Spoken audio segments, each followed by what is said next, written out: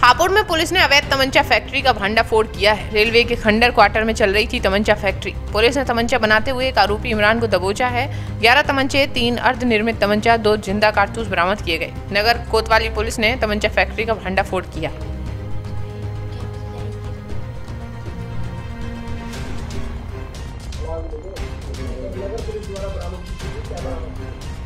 थाना हापुड़ नगर पुलिस के द्वारा एक अवैध शस्त्र फैक्ट्री का पर्दावास करते हुए एक सातिर अपराधी इमरान को गिरफ़्तार किया है जो जनपद मेरठ के मुंडाली का रहने वाला है।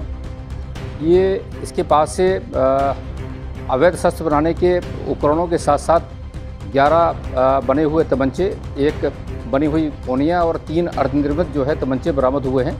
कुल 15 बने और अधबने शस्त्र इससे बरामद हुए हैं कार्टिजेज से बरामद हुए हैं। पूर्व में ये जनपद मेरठ से आर्म्स एक्ट में और अवैध सस फैक्ट्री में गिरफ़्तार भी हो चुका है। पूछताछ में इसके द्वारा बताया गया है कि ये एक जो तमंचा है, उसको लगभग पाँच से सात हज़ार रुपये का बेचता है और इसके द्वारा और भी कई महत्वपूर्ण सूचनाएँ हमें दी गई हैं। इसके संदर्भ में थाना कोतवाली नगर में अभियोग पंजीकृत किया गया है और इसको गिरफ़्तार करके माननीय न्यायालय में प्रेषित किया जा रहा है।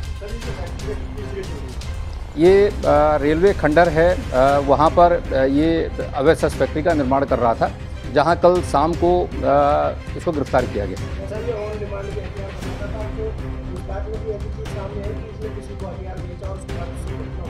अभी इसने कुछ महत्वपूर्ण जानकारियाँ हमें दी हैं हम उनको वेरीफाई करा रहे हैं और यदि वो सत्यापित होकर सही पाई जाती हैं तो तदनुसार विधिक कार्रवाई हम सुनिश्चित कराएँगे।